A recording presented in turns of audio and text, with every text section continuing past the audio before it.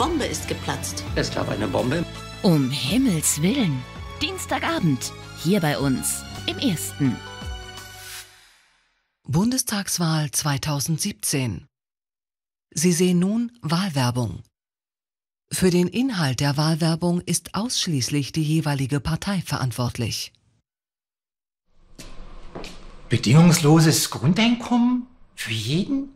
Einfach so?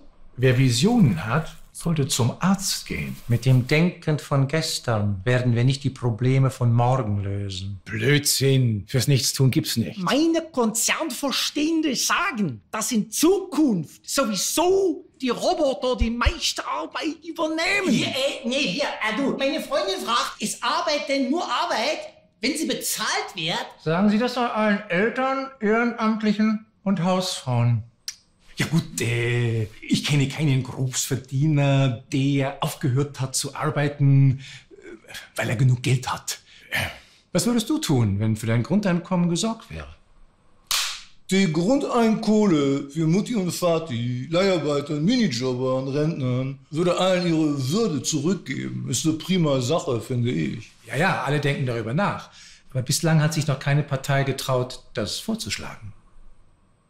Oder? Grundeinkommen ist jetzt wählbar. Bundesweit. Wie, wart seit wann ditten? Ja, nach meiner Kenntnis tritt das sofort. Unverzüglich. Wie soll denn das bezahlen? Geld ist genug da. Easy peasy, komm, lass jucken. Bundestagswahl 2017. Sie sahen Wahlwerbung.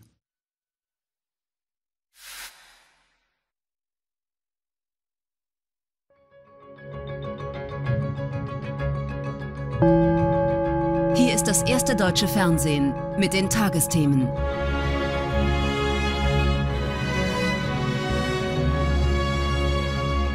Heute im Studio Karen Mioska. Guten Abend.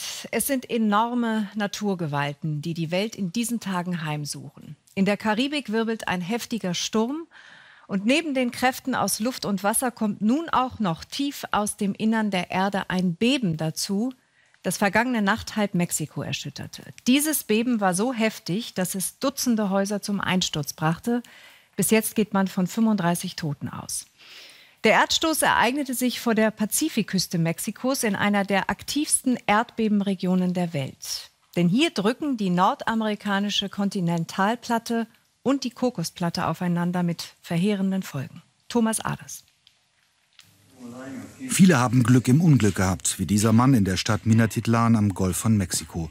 Er hat eines der stärksten Erdbeben in Mexiko seit Menschengedenken überlebt. Und dennoch, sein Haus ist unbewohnbar. Finanziell steht er jetzt vor dem Nichts. Diese Sekunden gestern kurz vor Mitternacht wird kaum ein Mexikaner jemals vergessen. Die Erde beginnt zu beben, 50 Millionen Menschen werden aus dem Schlaf gerissen. Das Epizentrum liegt im Süden des Landes, vor der Küste nahe der Grenze zu Guatemala. Noch in der 1000 Kilometer entfernten Hauptstadt Mexico City wanken tausende Häuser. Ich habe geschrien, weil ich so eine Angst hatte. Ich habe sowas noch nie erlebt. Einfache Beben ja, aber nicht, dass die Wände knacken und das Licht ausgeht. Ich saß zu Hause und habe Fernsehen geschaut, als plötzlich alles zu wackeln begonnen hat. Alles hat sich bewegt. Es war beeindruckend, wirklich. Das Beben war sehr stark. In den besonders stark betroffenen Bundesstaaten Oaxaca, Chiapas und Tabasco wurden zahlreiche Häuser dem Erdboden gleichgemacht. Rettungskräfte suchen in den Trümmern nach Verschütteten. Präsident Peña Nieto sprach vom schwersten Beben seit einem Jahrhundert. Leider muss ich von menschlichen Opfern berichten. Die Infrastruktur hat in unterschiedlicher Art und Weise Schäden erlitten, die wir bislang nicht quantifizieren können. Während die zunächst befürchteten Tsunamiwellen am Pazifik ausblieben, geht im ganzen Süden Mexikos jetzt die Angst vor starken Nachbeben um. Bereits knapp 200 von ihnen haben Seismologen gezählt. Sie sind oft gefährlicher als der erste Erdstoß, weil sie beschädigte Gebäude zum Einsturz bringen können.